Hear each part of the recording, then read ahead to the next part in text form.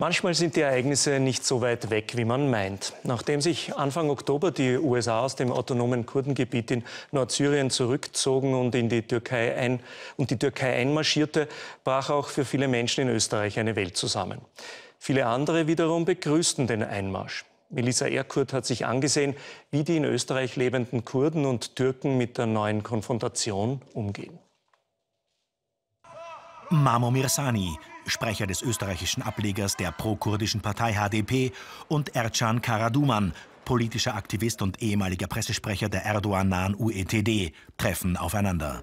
Die Stimmung zwischen Kurden und Türken ist angespannt.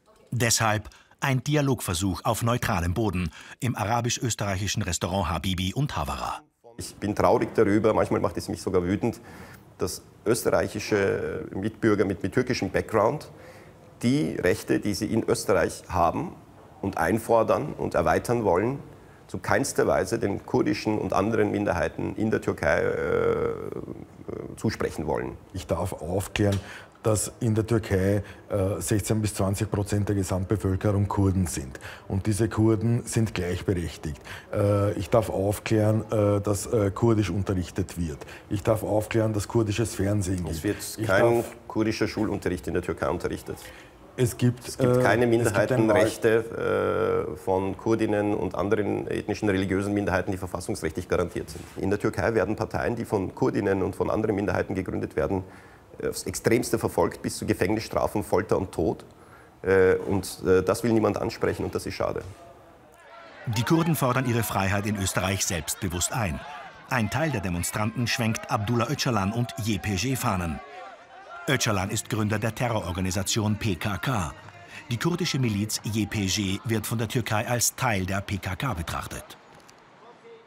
Eines möchte ich noch da unterstreichen. Es gibt ein Symbolverbotsgesetz in Österreich, nicht wahr? Die natürlich auch jegliche PKK-Symbole in Österreich äh, verbietet. Aber äh, was passiert in Österreich? Was ist, das, was ist das, was am meisten hier passiert, ist jetzt in der letzten Zeit nach diesem Verbotsgesetz es sind unangekündigte, unangemeldete Demonstrationen finden statt, hier unter der Flagge von der PKK, unter der Flagge von Öcalan. Und, äh, äh, und dieses Verbotsgesetz greift auf einmal nicht. Es, es, äh, es kommen keine Strafmaßnahmen darauf hin.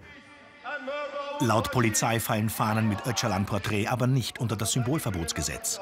Der Vorwurf, Österreich würde Partei für die Kurden ergreifen, kommt von türkischer Seite immer wieder. Beim Fackelzug in der Wiener Innenstadt sind der grüne Politiker Nikolaus Kunrad und Andreas Schieder von der SPÖ anwesend, der als guter Freund der Kurden vorgestellt wird. Die JPG, die sind äh, diese kurdischen Milizen, die haben mit Unterstützung auch äh, der Völkergemeinschaft wie den Amerikanern letztlich den islamischen Staat besiegt. Die haben gekämpft, damit dieser islamistische Terror nicht größer wird, sondern weniger geworden ist. Das sind also keine Terroristen, sondern sind Freiheitskämpfer. Und äh, so sollte man sie auch behandeln, auch jetzt äh, in diesen äh, schweren Stunden. Der türkischstämmige Politologe Cengiz Günay sieht das kritisch. Es ist vielleicht weniger überraschend, weil es innerhalb der österreichischen Sozialdemokratie eine lange Tradition einer pro-kurdischen äh, Pos Position gibt. Ich finde es halt nicht unbedingt produktiv, weil es immer sehr starke antitürkische Statements gibt und ähm, nur prononciert äh, äh, kurdische. Gerade wenn man sich als Vermittler zum Beispiel in diesem Konflikt einbringen möchte, muss man als neutrales Land vielleicht da eine ähm, ähm, zurückhaltendere Position einnehmen. Die Vertreter der Communities dagegen fordern eine klare Haltung von Österreich. Die österreichische Regierung muss dafür arbeiten, dass äh, die Türkei nicht mehr äh, äh EU-Mitglied werden kann. Auf diese Art und Weise sowieso nicht. Sofortiger Abbruch der, türkischen, äh, der Verhandlungen mit der Türkei um EU-Mitgliedschaft. Äh, wirtschaftliche Sanktionen, politische Sanktionen, sich äh, innerhalb der UNO und auch der EU für eine Flugverbotszone einsetzen und, und, den Menschen dort helfen, weil das ist ein Krieg, der vor unserer Haustür passiert. Fluchtursachen bekämpft man nicht, indem man wegschaut, sondern indem man äh, dort in den Gebieten, wo das passiert, dem Einhalt gebietet.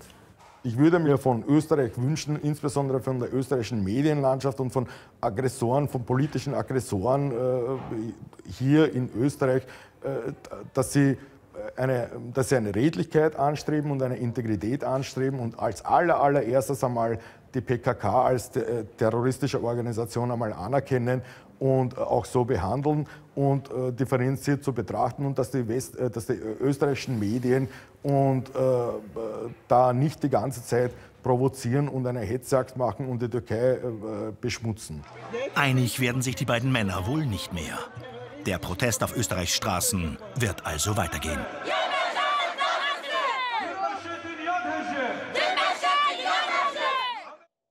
Melissa Erkurt hat berichtet.